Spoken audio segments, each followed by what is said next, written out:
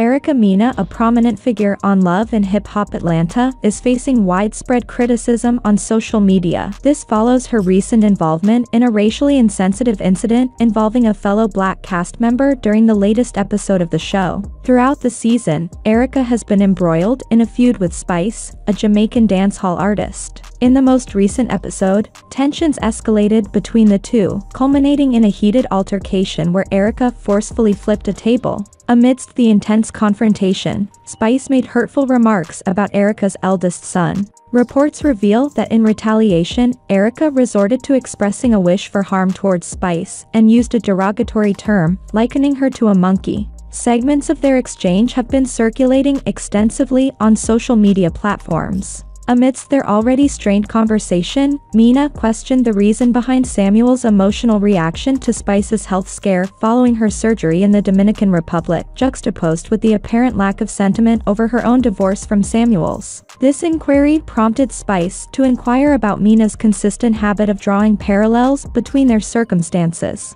You're friends and he felt that way. I was his wife and he felt nothing, she explained.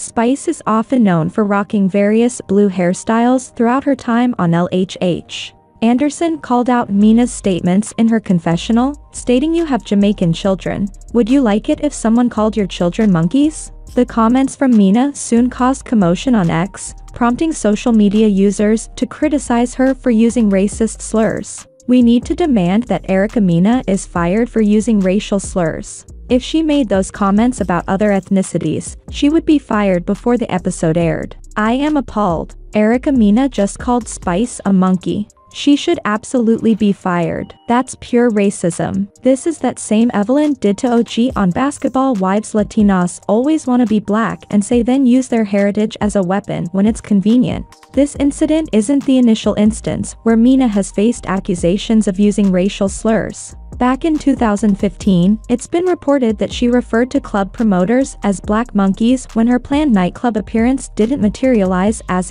expected. What are your thoughts like share and subscribe and thanks for watching.